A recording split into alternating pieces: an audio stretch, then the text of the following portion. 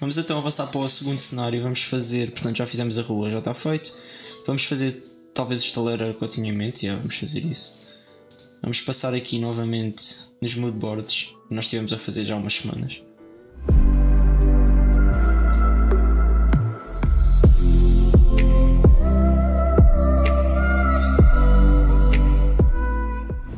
Ok, agora já conseguimos, pronto.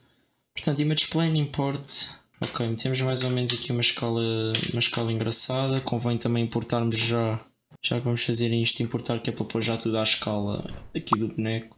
Ok, seja qual for o armazém, vamos fazer primeiro assim um contentor rápido.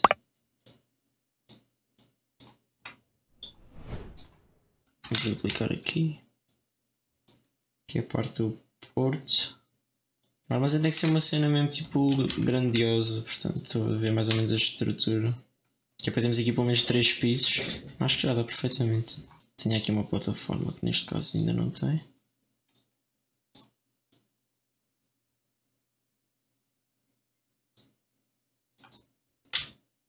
Dar snap aqui, pronto. E snap e merge outra vez. Temos um bevel geral nisto. Que é para podermos abrir depois o buraco. Tiramos o chamfer daqui. Dividimos em 4. Posso apagar. Vamos usar mais um connect. Só duas assim. Precisamos fazer isto um bocadinho mais simples, que eu fiz demasiado complexo e não estou a conseguir fazer as conexões. Trabalhamos num e depois damos mirror. Puxamos aqui para cima, fazer esta torresita. Com uma telhada assim triangular normal. Temos um connect. Chegamos aqui, align, puxamos, pronto. Perfeito.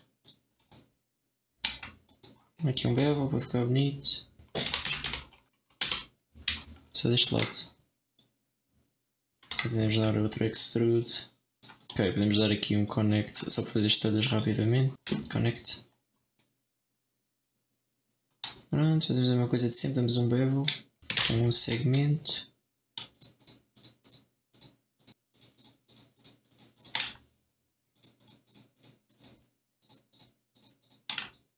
E podemos chegar, dar um extrude outra vez e puxamos as telhas tipo minimamente para cima. Pronto, já parece que tem telhas, estão a ver? Fixe. Vamos dividir aqui a geometria em 4 para fazer duas janelas. Uma tem que estar no chão, portanto esta está pago. Vamos dar um extract aqui. Extract face. Vamos primeiro fazer um extrude aqui para dentro. Ok, agora estou a pensar como é que vamos fazer esta parte circular em cima. Uh... Ok, damos aqui um connect. Vamos aumentar aqui alguns. Agora vamos buscar um bend.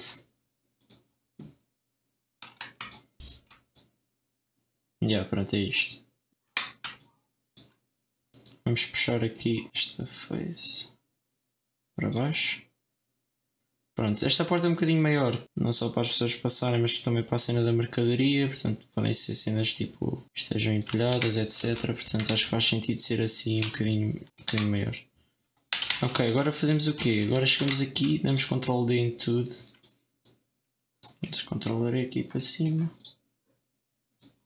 Nós precisamos só de pôr aqui indicação, pelo menos, de que temos a tal cena do elevador, que eu quero, isso é uma cena importante. Portanto, o elevador seria uma cena assim deste género, elevador de mercadoria, não um elevador de pessoas, né? Ok, damos align, puxamos aqui para fazer uma plataforma, uma mini plataforma. Ok, mas o que é que eu queria fazer mais aqui? O portão, vamos fazer só depois no final, Vamos só fazer o interior de um, como eu tinha falado. Portanto, podemos já exportar, uh, aliás, duplicar. Ou seja, damos este combine disto tudo e vamos fazer um mirror a seguir. Temos as 30, temos mirror. Pronto, feito. Isto mesmo. Entretanto, podemos alterar aqui, lá está, alterar aqui a tal cena para fazer o portão, mas o portão vai estar aqui no meio, portanto será algo deste género. Mais ou menos a meio, mais ou menos. Agora podemos pôr aqui o tal, o tal portão. Vamos só fazer isto para fechar.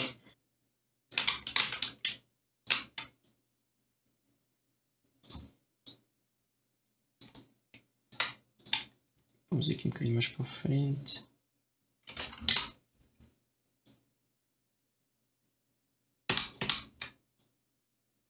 Pronto, isto é para fazer a porta aqui. A passagem. Pronto, feita. Basicamente eu posso chegar aqui, fazer assim.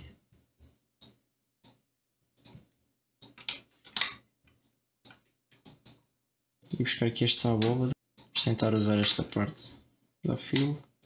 Aumentamos. Pronto, estão a ver a ideia, né? Ok, uh, vamos fazer aqui uma coisa rápida. Só pôr aqui umas tábuas, umas tábuas, entre aspas, né?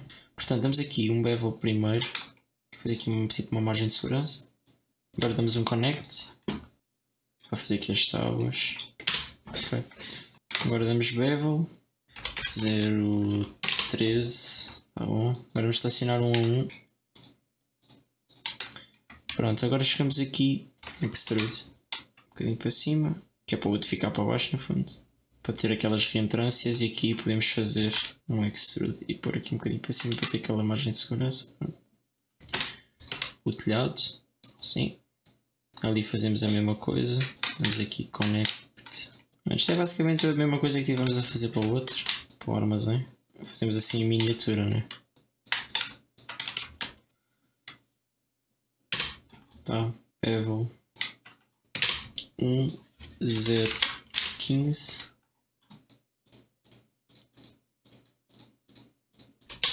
0C2. Portanto, temos aqui, publicamos.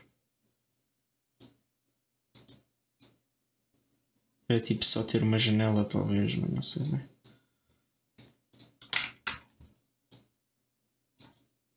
Pronto.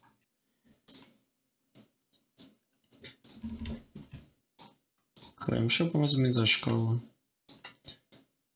Pronto, estão a ver, né? Agora já dá para fazer aqui uma certa uma ponte, como estava, nós estávamos a falar.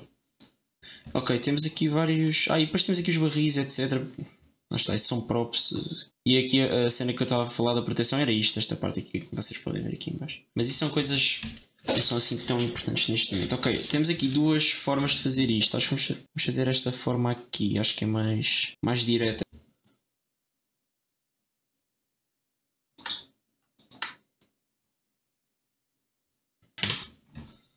Só para se perceber, bevel.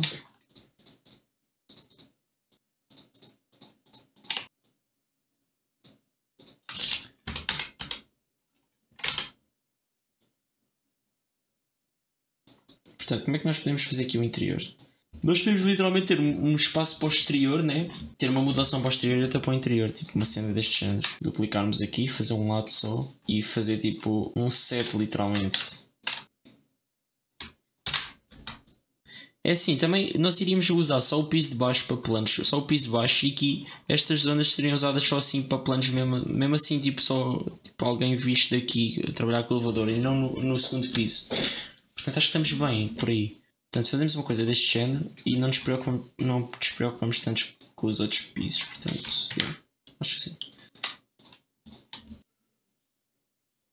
E agora fazemos ao contrário, tipo, fica a fração como, como a ripa e eliminamos o resto. Um bocado ao contrário do que nós temos feito.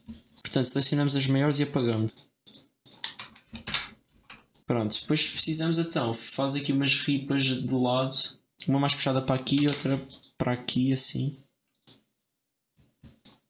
Passaram três, um, dois, três.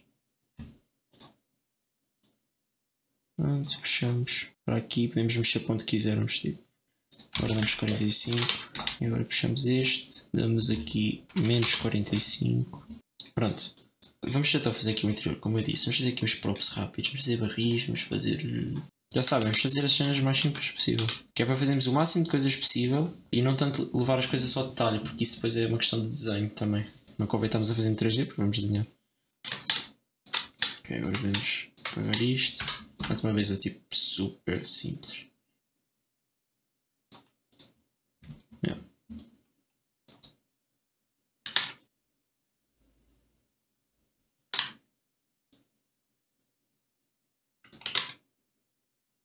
Vamos outra extrude para baixo. Está uma gaveta feita. Pronto. Fazer uma caixa. Primeira coisa. Extrude. Offset. Vai dar tudo ao mesmo.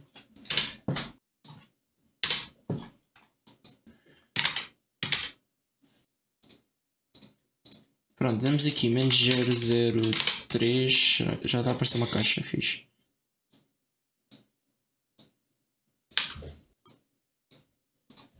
Pronto, agora é uma questão de chegarmos aqui, duplicarmos e colocarmos como quisermos.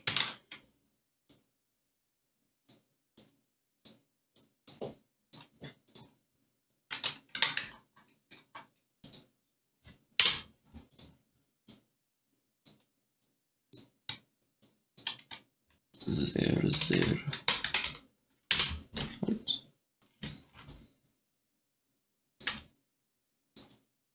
Vamos ao encloud. Que é, vamos fazer o tecido cair aqui. Ok, pronto, agora sim, encloud criamos aqui o encloud. Uh, selecionamos aqui os objetos que nós queremos. Passive Collider, pronto, está feito. E agora ele cai e vai. Pronto, a ver, né? Agora ajustamos como quisermos. Quero isto se calhar um bocadinho mais para a frente, assim. Depois paramos no frame que queremos. Estou só a tentar selecionar aqui o frame fixe. Yeah, mas acho que estamos com um cenário fixe, malta. O que é que vocês acham? Eu acho que sim.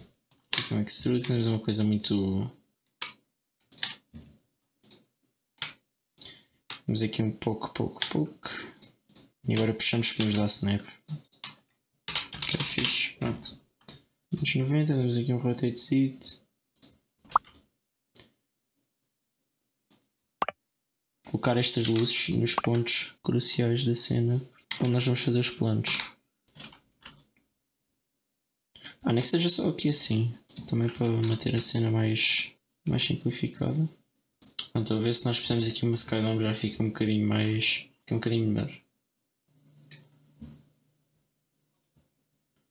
Precisamos de uma luz aqui dentro. Aqui é um espaço interior, portanto teríamos que se calhar puxar uma luz tipo um area light.